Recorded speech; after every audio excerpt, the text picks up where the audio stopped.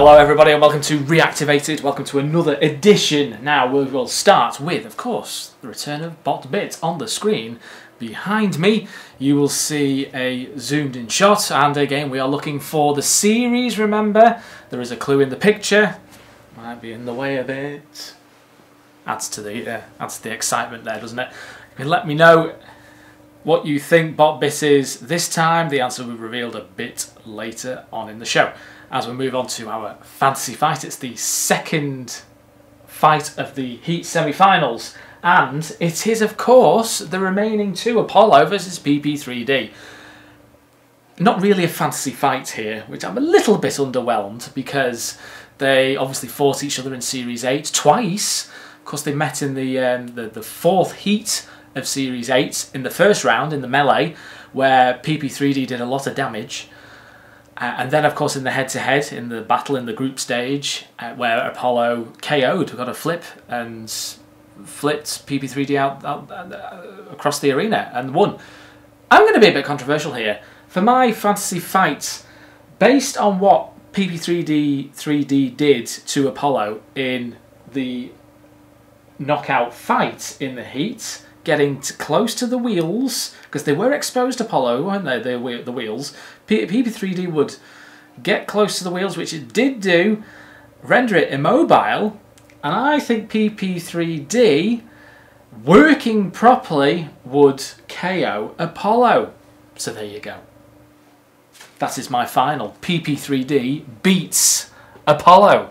And we'll go through to the grand final where they will be up against 13 Black. Who will win? Find out very soon on Reactivated as we now move over to a bit of fighting talk. Okay. Who remembers Panic Attack? Okay, everyone remembers Panic Attack. Not what I was really meant to ask there. Who remembers Gold? A gold edition of Panic Attack. We're going to be talking here Bit of fighting talk, Series 6 version of Panic Attack. Oh my goodness me. Now, I loved Panic Attack. Every single war it was in, I always wanted it to win. But for Series 6, for some peculiar reason, they decided to completely rebuild Panic Attack and go for something a bit different. And it really didn't work. Kim Davis, the, the driver, the team captain of Panic Attack, expressed on screen in his interviews with Craig Charles and in the pits how unhappy he was with the design. So, of course, it, it barely scraped through the first round of Series 6. It was ranked 8, seed, seeded 8. Of course, the 8th seed was the cursed seed, wasn't it, throughout Robot Wars. Um, Chronic and Rocks and Corkscrew, of course, Corkscrew nearly battered Panic Attack ripping off the, uh, the, the back of the machine.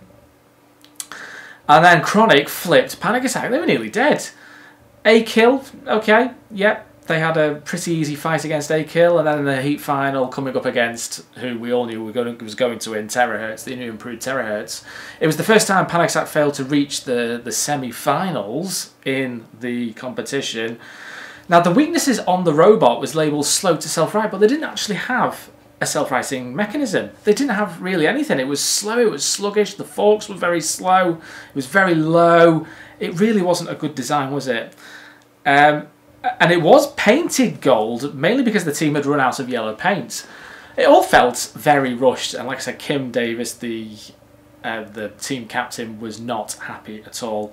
It just didn't work, did it? Series 6 version of Panic Attack the the gold painted robots trying to emphasize the fact that they could reach to gold place once again first spot. It didn't really quite work out did it? So unfortunately for panic attack series 6 version was the worst and they very quickly reverted back to the yellow well-known robot for extreme series 2 there we go. Now we move on to robot rewind now we're going to rewind all the way back to the first part of the Robot Wars archive. Yeah, the, the first the first few wars, because we are now rewinding to just have a quick look back at Menacing Mortis. what can you say about this robot? It made it four appearances altogether in the wars. Um, Rob Knight and Arthur Chilcott, of course, were the two main uh, team members of Mortis. We're going to review each series, but throughout its campaign in each series, it was never really liked, was it? They didn't like the team. I mean, okay, the team were quite cocky and arrogant. They claimed that the robot was worth forty thousand pounds. Was it? Was it really? I heard a rumor that it was built for less than a thousand pounds. Am I am I wrong there? Please leave a comment below if I am wrong. But I heard a rumor it was nowhere near worth forty thousand pounds. Now, uh, they had a, a, good campaign in Series One. Of course, it was one of the most. It was the deadliest axe we saw in Series One, even more powerful than Shunt, where they lost in the heat final against Recyclops in the first ever judges' decision. Very close, quite controversial. Yeah, I mean, pe people thought that Mortis should have won that judge's decision to go through to the grand final. But anyway, I think Recyclops just had the edge. Um, they came back. Now, this is what confuses me here because they were always billed as the favourites. In Series 2 as well, they were ranked number 2 in Series 2. They didn't get through to the final. They should have been at least seeded seven because there were six robots in the grand final of two. Mortis, okay, a favourite, should have been at series, uh, seeded seven, I think at least. Uh, yeah, strange. Anyway, it came back bigger, better with the axe. Um, had a great heat, uh, defeated Ramesses II and Oblivion in its heat. Uh, then got through to the uh, semi-finals, of course, losing out to Panic Attack. as you can see there. And for me, this was Mortis at its peak, really. Mortis in Series 2 was probably the best incarnation of Mortis.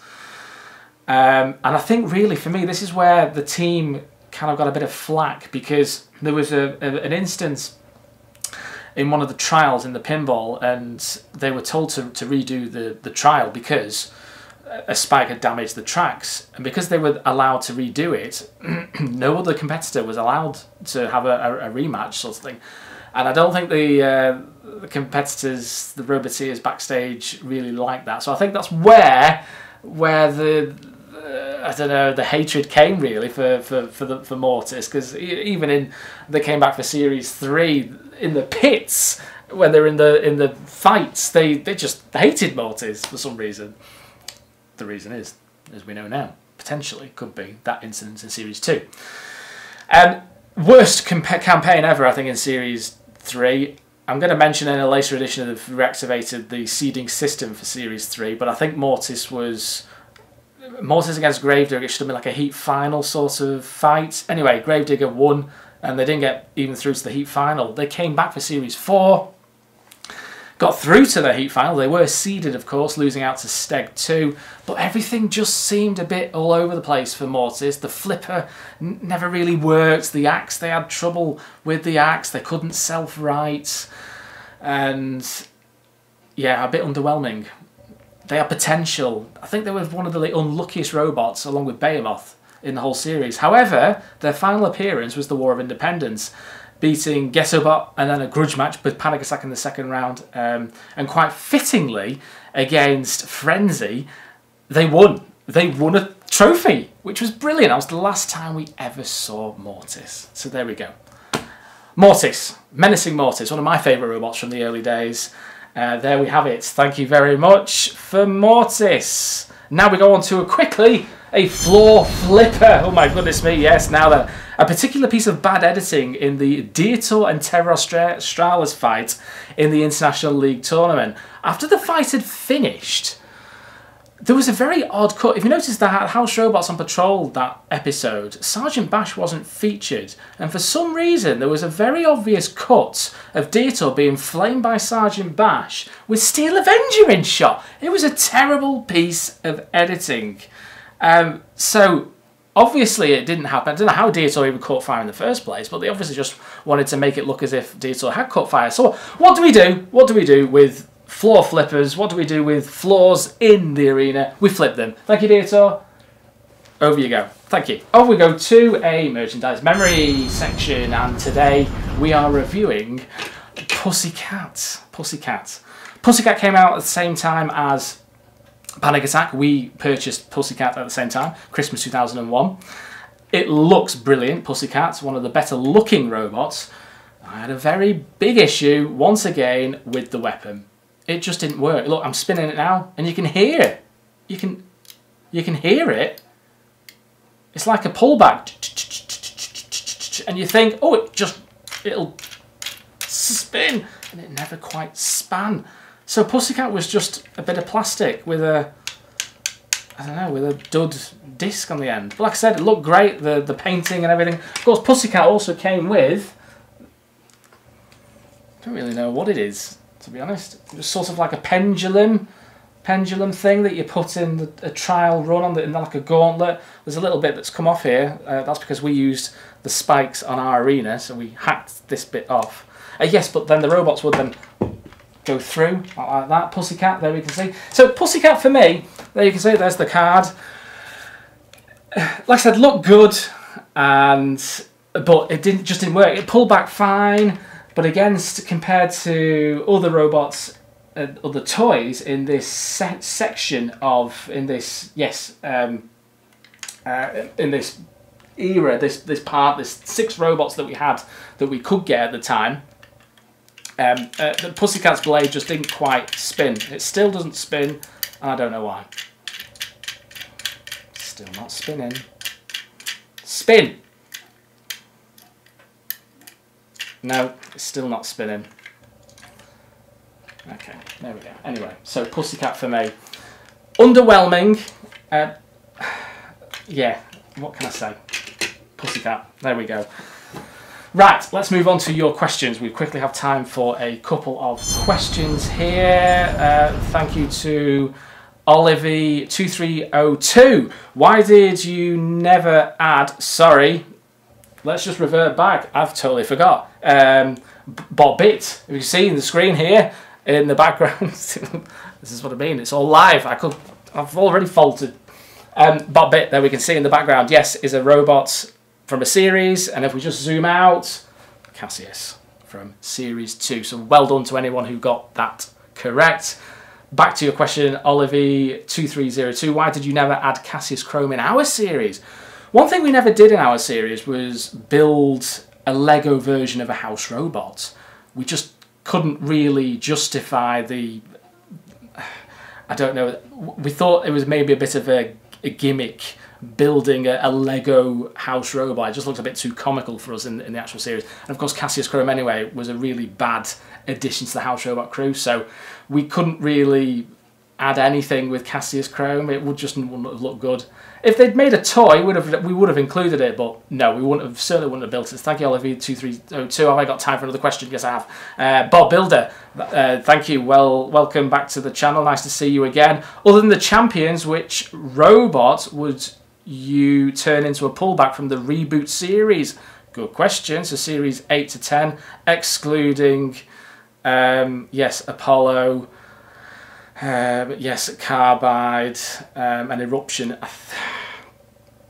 I would love to have seen Nuts, and the reason why, because Nuts came, had two little, uh, like a, a, a, trio of robots, wasn't it? It was like a Gemini, but with, with three and it would have made great additions, I think. A little little extras in, in your toy collection with nuts and of course the flail. I think nuts would have been really good. Cease. So that's what the, I've, Cease just called. Uh, I've not got time for any more of your questions. Yes, like I said, Pussycat before, I was meant to but the next batch of robots, this is probably the least impressive because of because of that. Anyway, that's that's what I was meant to say about Pussycat. Thank you all so much for watching. Uh, subscribe, download, share, and we'll see you very soon on the next episode of Reactivated.